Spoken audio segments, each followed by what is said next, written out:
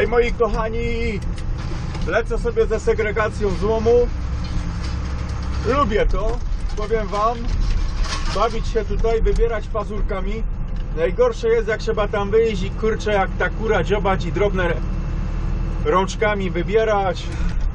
To już takie mniej przyjemne, lepiej tutaj na maszynce. Do maksimum, ile się da z tego złomu wydoić, że tak powiem, wulgarnie. Normalnie nie rozumiem tego. Połowa maja, a ja w kurtce zimowej, czapka na głowie, bo inaczej się nie da. No nie da się. Ogrzewanie musi hulać. Co się dzieje z tym światem, to ja nie wiem. Świat oszalał razem z ludzkością.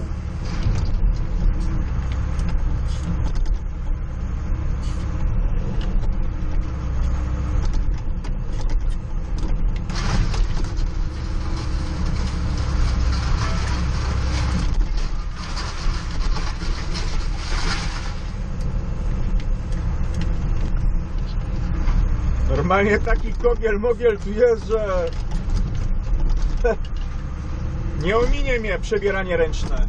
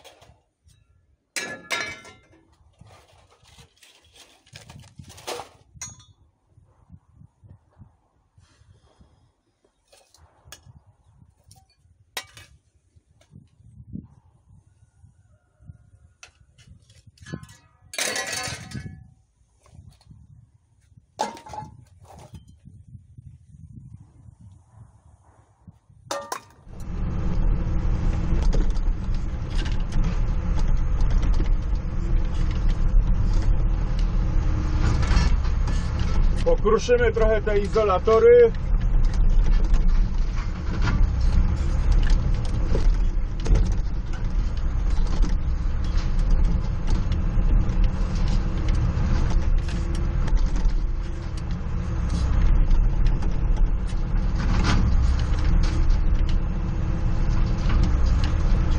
Oj, będzie tu sprzątania.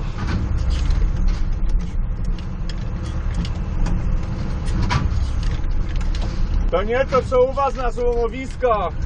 Przyjeżdżacie, kurcze, ręcznie wszystko wrzucacie do kontenerów już na gotowy, czyściutki, piękny złomik. A właściciel złomowiska się cieszy, robota wykonana, zaoszczędzi na pracownikach, może się czymś innym zająć, na kasiorce zaoszczędzi. Takie oto plusy są tego.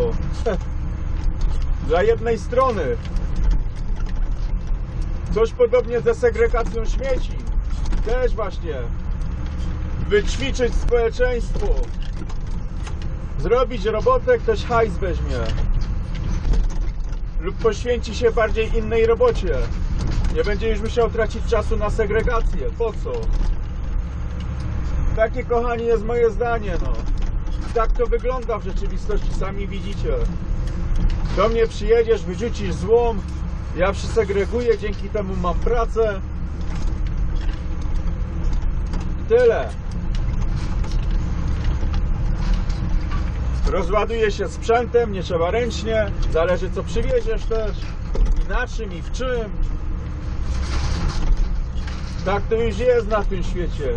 Nie kombinujesz, nie jedziesz.